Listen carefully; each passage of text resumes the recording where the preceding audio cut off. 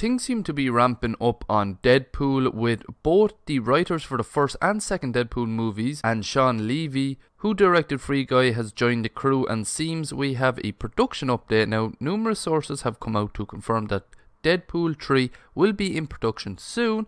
What they need to do now is to get the paperwork done and sign the contracts, dot the T's and dot the I's, and see if they can use certain locations.